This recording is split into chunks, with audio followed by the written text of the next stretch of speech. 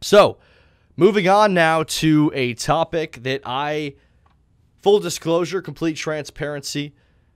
Anyone who knows me knows that I went to Penn State. I'm a huge Penn State fan.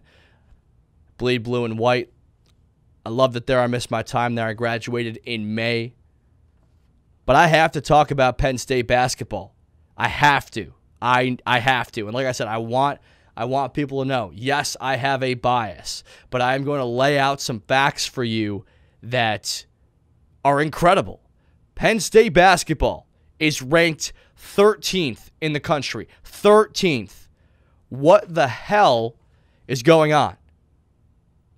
I can't be- I still can't believe it.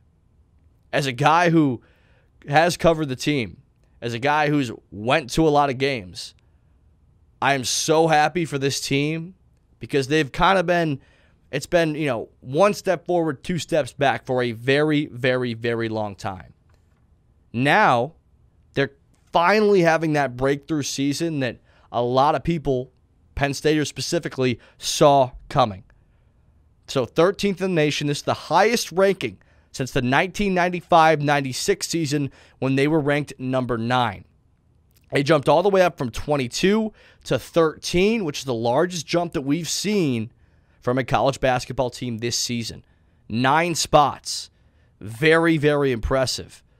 They played in front of a sold out crowd in an 83 77 victory over Minnesota at the Bryce Jordan Center. Lamar Stevens posted a career high 33 points, 17 of which came in the first half.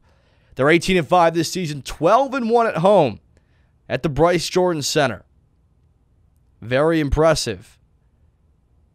The six game winning streak that they have right now started on January 18th with a win over then ranked Ohio State, who was went in a downward spiral.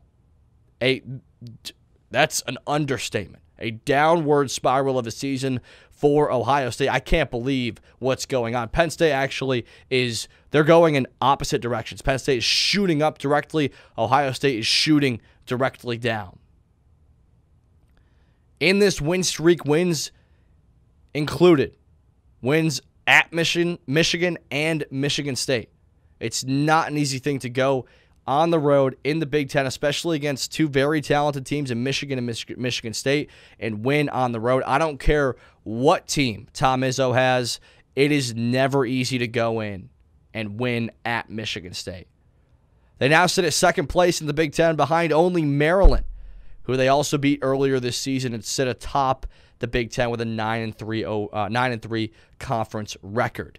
This team is dangerous. I, re- I really think this team could make a push come March. Based off my experience, my little experience I have in watching in watching March Madness. Come March, the teams that are the most successful are the teams that have the most experience and underclassmen. Here's a perfect example for you. Mercer beat Duke in 2014. Mercer had seven seniors on the team. The majority of them were the consistent contributors. Were there some that didn't contribute as much? Yes, of course there were. But seven seniors on the team that have worked together, that have played together, that have literally lived together. Anyone who's ever played a college sport, a high school sport, knows that your team, you essentially live together. You're going through your life together. You see each other every day. And you could say that doesn't really play a factor into it, but I definitely think it does. Seven seniors for Mercer in 2014 when they beat Duke and upset them in the first round.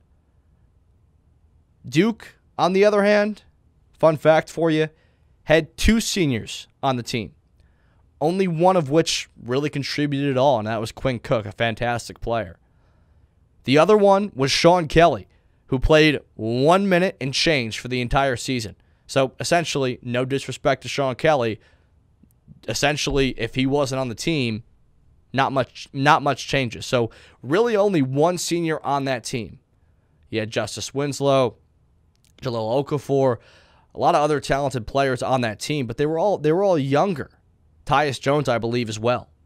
A great class of freshmen, all of which declared for the NFL draft. Uh, the we're still on NFL mode. All of which declared for the NBA draft the next year.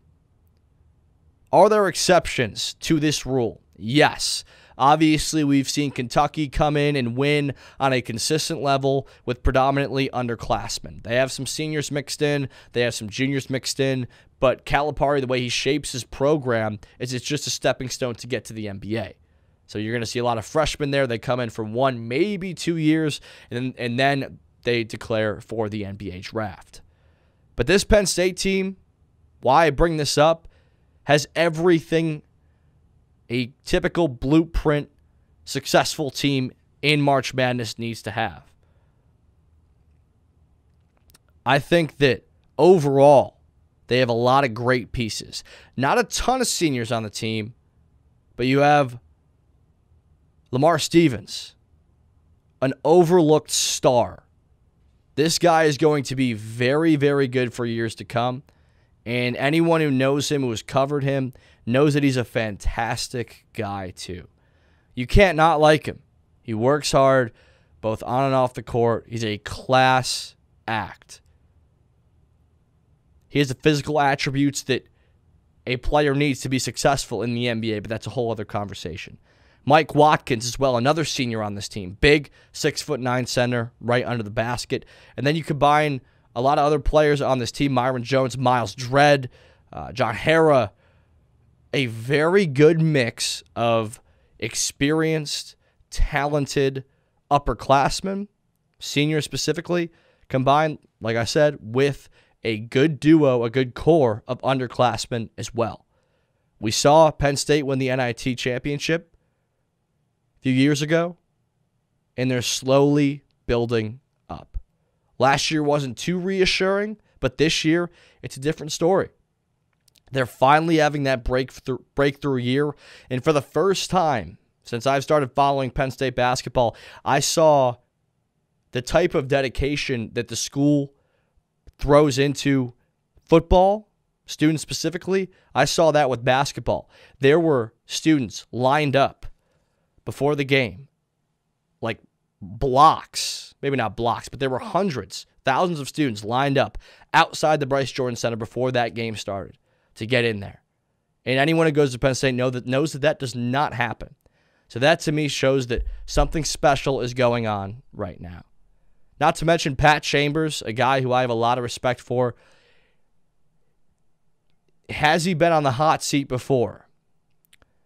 Reports say no, but anyone who knows the ebbs and flows of this team, of this program, knows that there have been some people that haven't been happy with Pat Chambers at the helm. They're sticking around with him, and I think he's the right guy to have there. He's developing this program into something very special. They are right on the brink of being a top 10 team in the nation, and I couldn't be happier for him. Patience is a virtue, and patience pays off, and it's paying off right now for Penn State basketball. Very interesting storylines for this team. I'm going to be following them as I have all year. But I think college basketball this year is wide open. Wide open. And that creates for a very, very, very entertaining time come March. I can't wait for March Madness. We're finally getting into the heat now of conference play, and it's it's it's going to be very, very, very fun to watch. I'm, I'm, I'm so excited.